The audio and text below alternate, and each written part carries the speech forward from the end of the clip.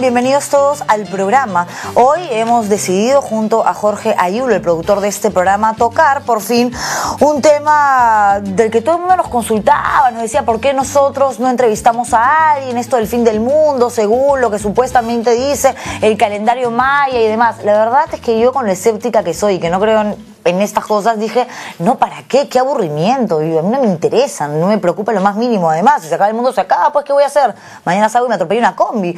Pero, en fin, eh, en vista de que son tantas las personas que están realmente preocupadas y sobre todo aterradas, que eso es lo peor, vamos a conversar hoy en la última parte del programa con el parapsicólogo Félix Rivera. En un ratito más voy a presentar a mi primera invitada, que es la ex congresista Anel Tausen, que ahora es quien encabeza la campaña eh, de no a la revocatoria de Susana Villarán y va a venir a explicarnos de qué se trata todo este asunto, cómo es que han reunido a todas estas personas, eh, las críticas que vienen recibiendo, sobre todo del Congreso. Los apristas no se han quedado callados. Acá estuvo la otra vez Velázquez Quesquel sacándole la mure a Susana Villarán y compañía. Mulder también se ha mandado con palabras bastante subidas de tono, pero no puedo empezar el programa del día de hoy sin antes hacer un comentario, pero muy breve, porque de verdad me da esta flojera, con respecto a lo que ha dicho Alvarito Vargas Llosa, ¿no? El fin de semana me acuerdo que en la radio, ahorita, el sábado pasado, eh, salí indignada, ¿no? no podía creer lo que había hecho. El señor resulta que está convencido de que nosotros vamos a perder, que los integrantes de la Corte de la Haya en Holanda nos van a dar la espalda y le van a dar la razón a Chile, que asegura, como ustedes bien saben, que sí, eh, sí existe un eh, eh, que existe una delimitación marítima, cosa que nosotros argumentamos nuestros juristas, los que nos representan, que no es así, que lo que hay son dos convenios que tienen que ver con un tema de pesquería de 1952 y 1954, pero bueno, ese es la polémica, digamos, esa es la controversia. Lo cierto es que ha salido pues Alvarito ahora, hace cinco o seis días, eh, con una carta que fue publicada en un periódico además muy importante en Chile. Entonces ahora que está en Perú, cuando lo han entrevistado y le han preguntado por qué hizo eso, por qué fue tan antipatriota, él dijo que quería publicar esa carta en algún medio peruano, pero que no le dieron bola, entonces se fue a Chile. No, pues no te publican de ningún medio de comunicación haces tu Facebook, pues, creas un Facebook y, publicas tu, tu, carta o en Twitter, lean esto si te interesa llegar a la gente, pero irte a Chile sabiendo que hay ahora un problema que tiene que ver además con un rollo relacionado a la cultura, la historia, porque siempre han habido rencillas entre ambos países, no lo haces, pues. Y él dice, no, en realidad no, si yo me equivoco lo reconoceré y a mí el único que me puede dar cátedra de patriotismo es Paolo Guerrero. ¿Para qué habla? Ya, no quiero hablar más el tema porque de verdad, o sea, ni de Mario Vargas Llosa, que me parece un capo, nuestro Nobel, hablo cuando hace algún tipo de comentario relacionado a la política y demás, porque creo que Zapatero tus zapatos, que no hable de cosas que no sabe, menos del hijo, pues, que el único mérito que tiene justamente es el hijo, ser el hijo del premio Nobel, o sea, le gusta o no, yo no quiero hablar de verdad. me dijeron ahora, alguien me llamó, bueno, tú sería entrevistarlo, ay no, qué flojera, de verdad, o sea, le sacaría la mura, además creo que no lo dejarían hablar. Pero en fin, vamos ahora sí al tema que nos tiene aquí, y es este asunto que les comentaba hace un ratito, la campaña de no a la revocatoria que está siendo encabezada, liderada por la ex congresista, ex ministra también, Anel Tausen. ¿Cómo estás, Anel? Gracias por venir. Hola, buenas noches, Juliana. Has reaparecido, Anel, y has reaparecido con muchísima fuerza mediática, estás en todas partes. Bueno, en realidad estamos eh, en defensa de Lima, todos y todas las que queremos que Lima no se detenga, que Lima eh, siga por el camino de la reforma del transporte de que la gente pueda tener paraderos donde tomar sus buses, de que no haya atropellos y, muertes en nuestras pistas, entre otras cosas que viene haciendo una gestión municipal. Y una característica muy importante de este grupo al que le hemos denominado las, roces, las voces y los rostros eh, por el no, es que queremos defender a Lima de que se detenga y de que el dinero que se usaría para este proceso eh, realmente sirva para invertir a favor de nuestra ciudad. No somos personas que pensamos igual en todo, pero en lo que sí pensamos igual es en que Lima tiene que progresar. Pero hay gente que está diciendo, sobre todo tus detractores, que se está exagerando. Si la OMP ha dicho que este proceso va a costar 69 millones de soles, ¿por qué ahora ustedes hablan de una cifra que es casi el triple, 200 millones? Bueno, en realidad, más allá de las, de las cifras, está el hecho de que eh, hay advertencias de especialistas y hay un ex jefe de la OMP como Fernando Tuesta que menciona que hay un acumulativo entre lo que, es, lo que es el propio proceso revocatorio y las nuevas elecciones que se producirían como posibles, más el proceso que toca hacer en el 2014, que acumularían esa cifra. Pero más allá del, del monto, está el hecho de que una revocatoria efectivamente es una herramienta de la democracia, está dentro de la ley, está dentro de la Constitución, pero las herramientas democráticas tienen que ser bien utilizadas. Desde nuestro punto de vista, no hay una justificación para una revocatoria porque, tal como, como lo han dicho eh, personas como Luis Bedoya Reyes, que es un gran exalcalde de Lima, eh, no amerita realmente cuando en una ciudad no hay una autoridad que haya abandonado la autoridad, que haya cometido abusos, que haya cometido corrupción. Ese no es el caso de Susana Villarán. Pero eso te lo han criticado muchísimo, Anel. Digamos, este discurso que tienes ahora, muchos aseguran que no tiene absolutamente nada que ver con el que manifestabas hace seis años, cuando tú misma dijiste, por ejemplo, que habían personas que tenían y cumplían funciones públicas que debían ser eh, revocadas, como era el caso pues de los congresistas. Y en ese entonces hablaste de que la revocatoria podría darse por casos de ineptitud o incumplimiento del trabajo. Y hay mucha gente, para mucha gente, eh, Susana Villarán no está cumpliendo, en estos dos años no está cumpliendo con lo que prometió en campaña, o en todo caso ha dejado o ha permitido que el tiempo se dilate y hay muchas cosas que están en stand-by.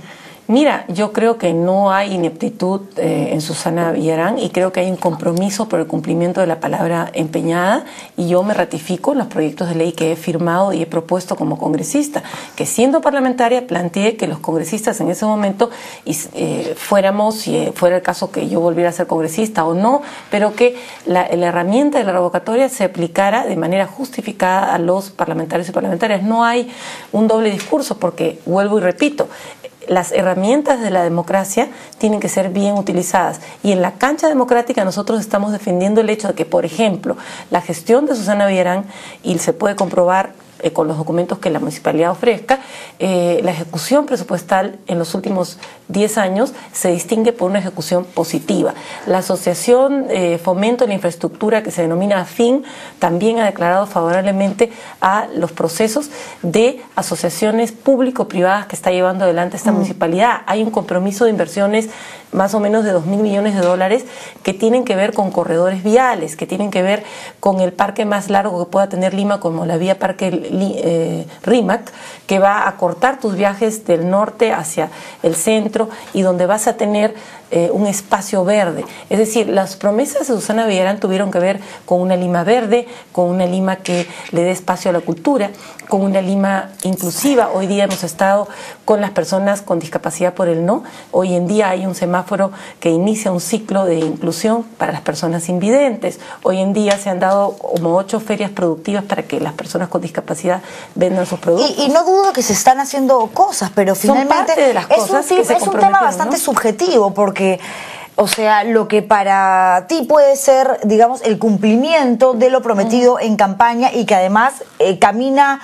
paralelamente a los plazos establecidos para muchos que están acostumbrados a otro tipo de gestión, porque hay que recordar que Castañeda Locio jugó al populista, al que todos los días inauguro algo y le pongo la marca, entonces hubo una estrategia de comunicación, de marketing, de marketing muy fuerte. No quiere decir que haya trabajado más o menos, simplemente que su mensaje, su obra llegó más y mejor. El tema es que para esas personas que están ahora diciéndole sí a la revocatoria y que forman parte de ese 55 o 60% que en las encuestas dicen Susana Villarán el 17 de marzo tiene que salir de la municipalidad, todo esto que tú me dices, pues o no es suficiente o no es lo que ellos esperan de parte de la representante de la Municipalidad de Lima. Lo que yo te quiero decir es que creo que no ha pasado nunca en la historia, así como es la primera vez en la historia que tenemos una mujer alcaldesa elegida eh, por la ciudad, que se recaben firmas desde el primer día y que se publique eh, planteamiento de posible revocatoria al día siguiente de que ella asume eh, el cargo. O sea, cómo tú puedes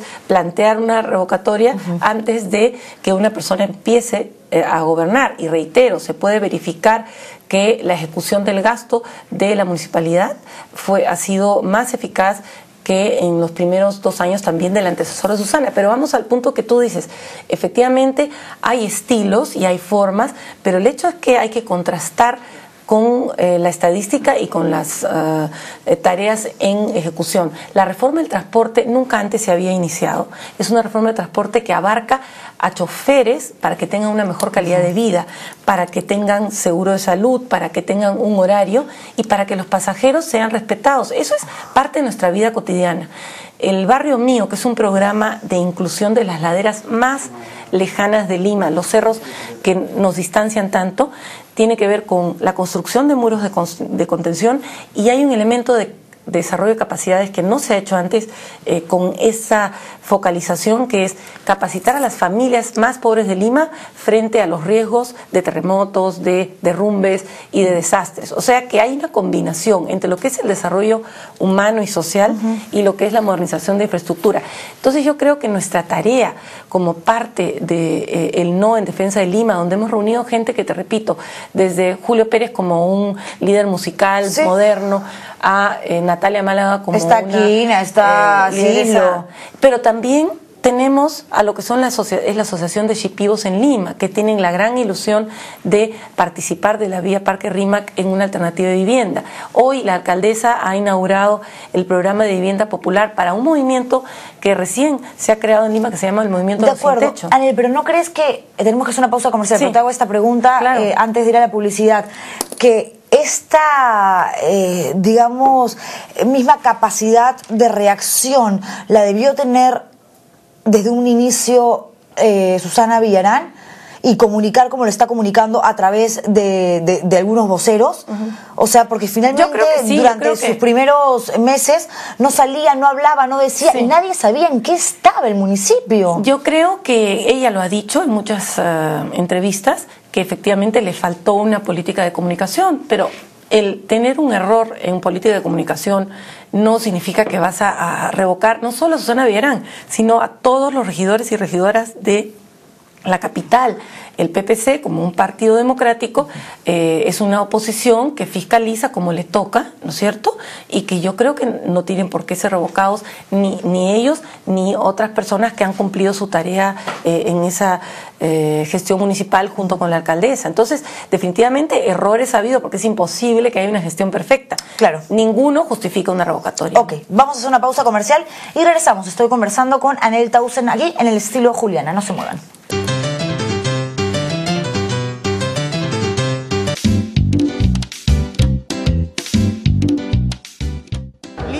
Parar. Amo Lima y estoy en contra de la revocatoria. Lima no puede parar. No debe parar. Lima tiene que continuar. Lima no puede parar.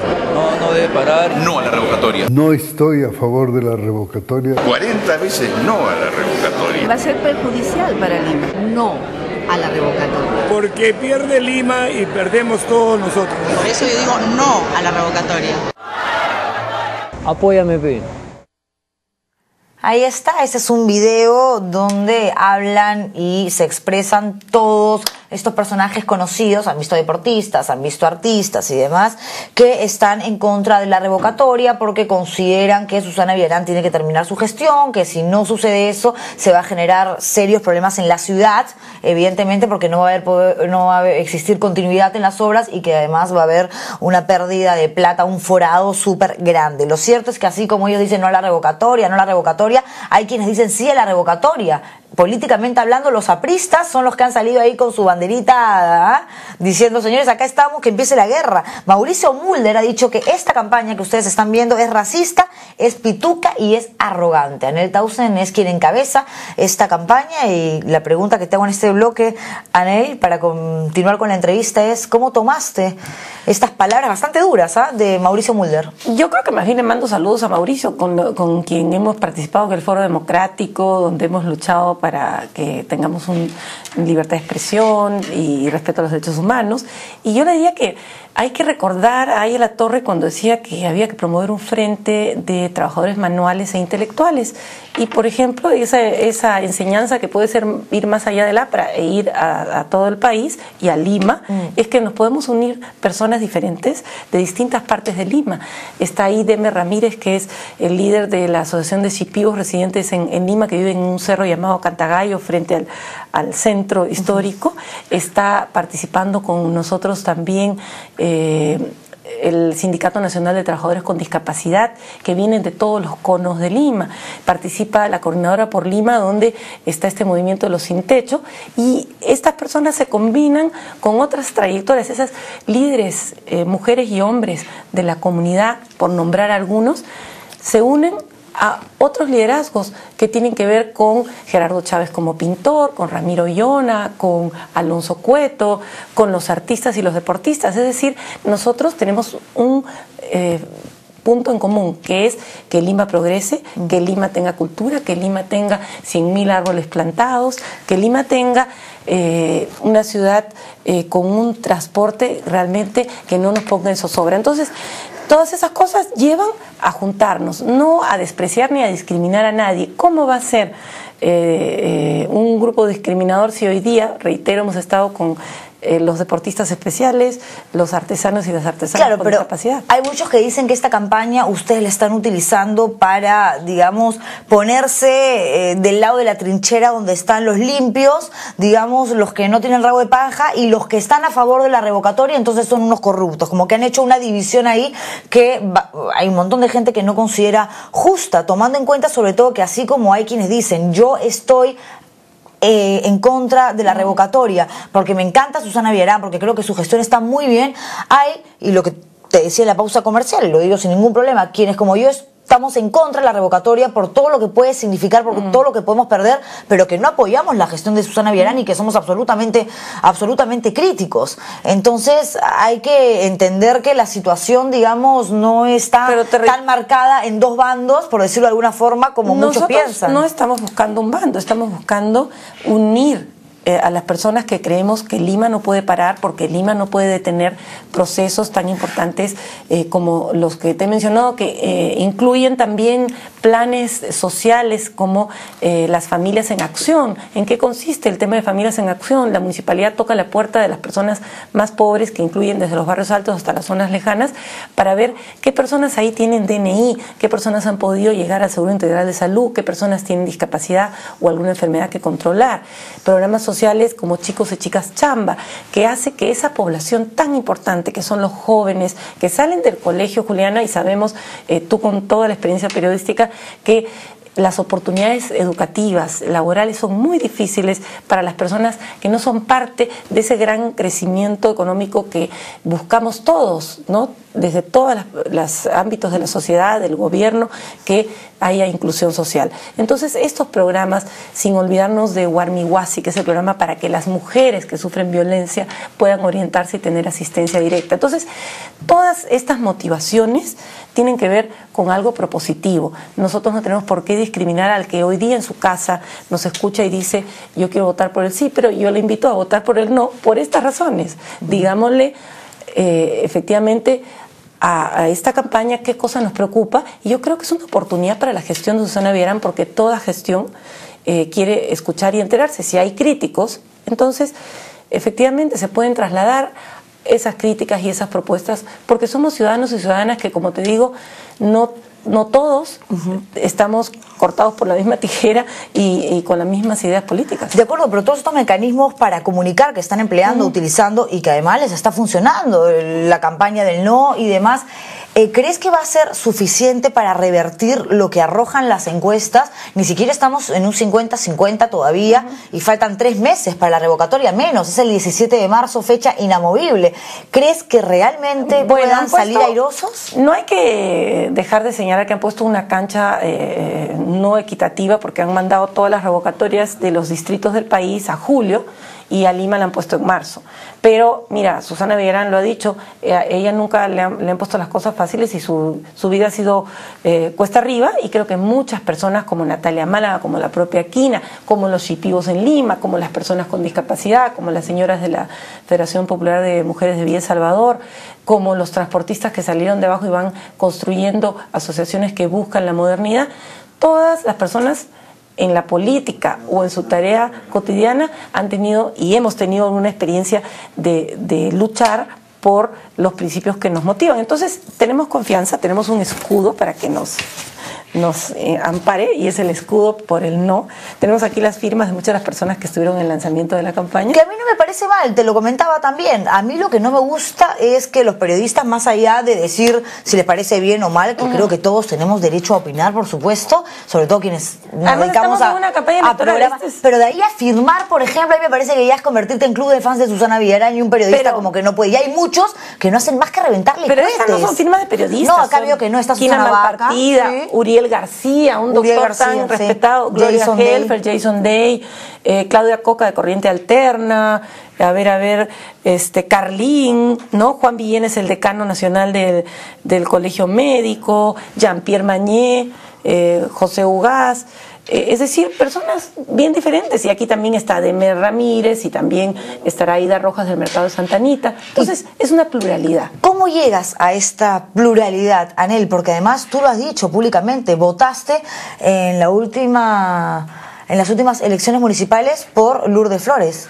Sí, porque eh, definitivamente yo tengo un gran aprecio y respeto y admiración por toda la tarea que ha hecho eh, Susana Villarán por los más pobres, por los derechos humanos, pero no estaba en mi línea de, de política y, y ella, a ella no le interesa eso. A Susana no pide que todos le den la razón en todo. Eso sí ella no- pide la Eh, oportunidad. ahí sí yo no te doy la razón, Anel. En esta campaña no está pidiendo que No, todos hayan ¿sabes votado por qué te ella. digo? Porque le he visto pasándose por todos los canales y ha estado con diferentes Y eh, acá. periodistas. Y aquí ha estado Marisa Glave, la regidora, aquí ha estado que venga, que dos venga, regidores vamos. más. Hoy estás tú, estuvo el señor eh, eh, Guerra, García. Guerra García y yo a todos les he dado la misma tribuna que, que a Marco Tulio incluso para que expongan las ideas, los proyectos. Y Susana Villarán no quiere. Yo le entiendo, quizás no le provoca que le haga preguntas difíciles y hay periodistas que le van a poner una alfombra roja y le van a llenar de besos antes de pero yo entrevistarla. creo que no. Pero me Yo gustaría creo- que venga. Yo creo que, imagínate, eh, ella estaría encantada de venir y es cuestión de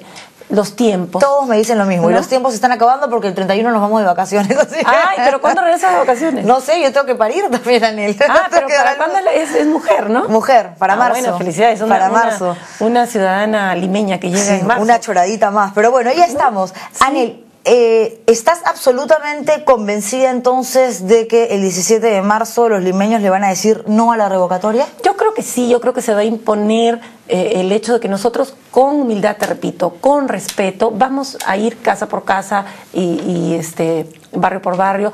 Este, este es el ámbito ciudadano, pero no olvidemos que también hay eh, una coordinadora de, de políticos, de sindicatos como la CGTP, que están en esto, ¿no? Entonces es múltiple, nadie le exige al otro, oye, tienes que ser de mi partido y votar por mi candidato en tal año. No, esto es en defensa de Lima y hoy día hubo un homenaje a Fernando Belaúnde Terry que fue emocionante, en donde la alcaldesa de Lima, eh, junto con eh, Víctor Andrés García Belaúnde, Raúl Discanseco Terry, Javier Álvaro Landini, eh, Arias Estela, bueno, todas personas vinculadas a lo que fue la figura del, del presidente, un gran demócrata y el instaurador de las elecciones municipales Sí, en el sí, claro.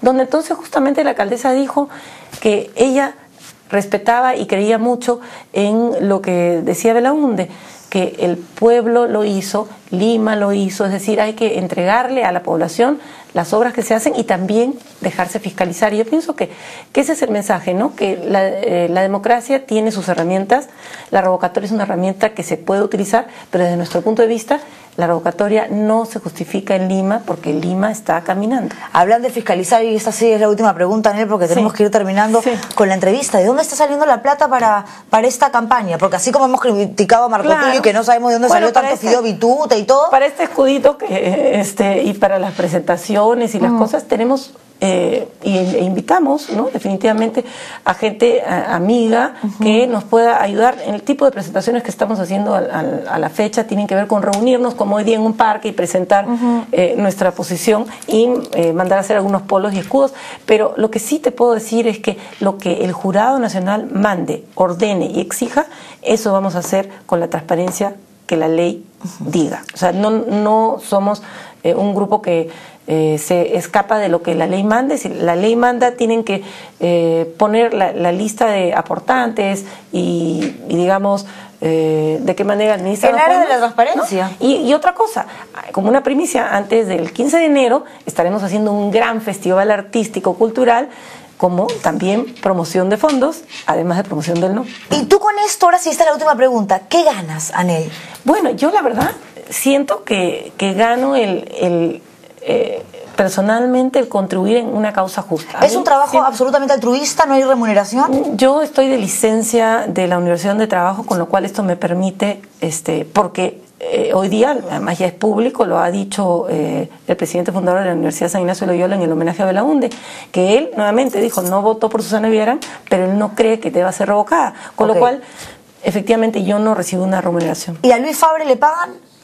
Mira, Luis Fabre, así como otros, han sido personas consultadas y él ha sido, por ejemplo, lo puedo decir, propuesto por Salomón Lerner como una posible persona a asesorar esta campaña. ¿Por qué lo negaron entonces? ¿Por No, qué? no, no, no se negó. A mí me preguntaron, ¿tienen un contrato con un asesor extranjero? El ex asesor presidencial de Ollantumala, Sí, además. Y efectivamente no hay un contrato, hay una propuesta, ¿no es cierto?, del señor Salomón Lerner a favor de Luis Fabre, así como ha habido otras propuestas sobre otros especialistas, y es público porque lo hemos visto en su Twitter que Fabre está simpatizando con él. De acuerdo, pero cobra por eso porque finalmente No es un asesor reconsiderado y... no hay un, un contrato aún con ningún especialista, pero en el momento que lo haya, evidentemente se tendrá que contar con los aportes necesarios. Nadie va a trabajar gratis y seguramente eso se va a concretar apenas empiece eh, el próximo año, ¿no? Perfecto. Muchísimas Así gracias, que- Anel, por haber estado no, aquí. a ustedes gracias y bueno, estaremos atentos a, Sí. a la niña que llega. Sí, y a lo que pase en marzo. Y a la revocatoria. Que eso le interesa buenas- más al país. Mira, son dos buenas noticias, que en la revocatoria gane el no